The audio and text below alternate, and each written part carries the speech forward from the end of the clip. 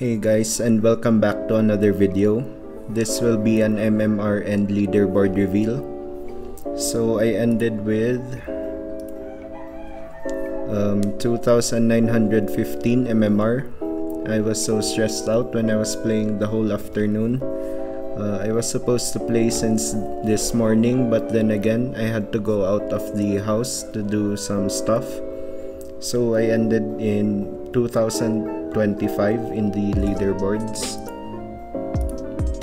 So uh, my last few games was win streak but I had to get out of these lose streaks as well. So I played a lot of games this week or these past two days.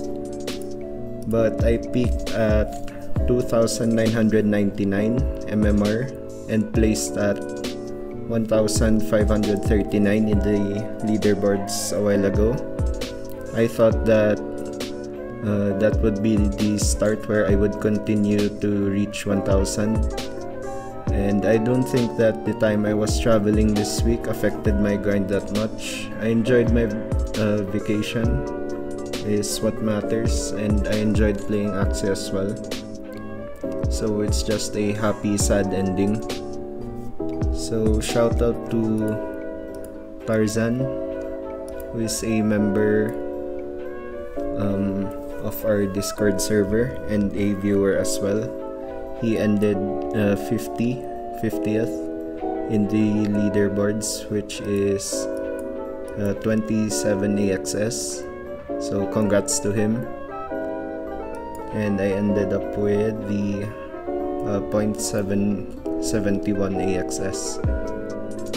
So that is the end of Axie Season 21 and this is also the end of my Axie journey.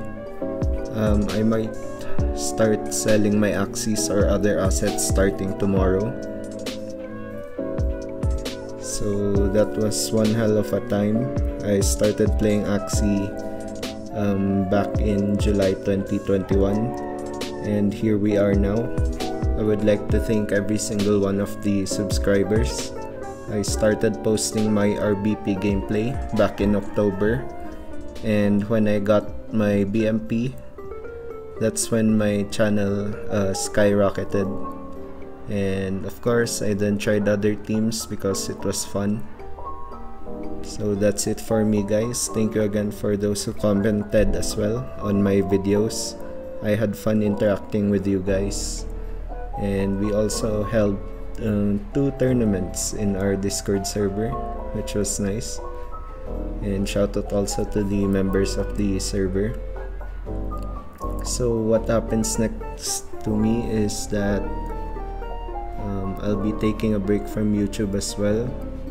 I don't know when I'll be back but if you're wondering what my content will be uh, that I do not know but I will most likely go back to posting Valorant games or other gameplay. With that being said, thank you to everyone again. See you next time and have a good day guys.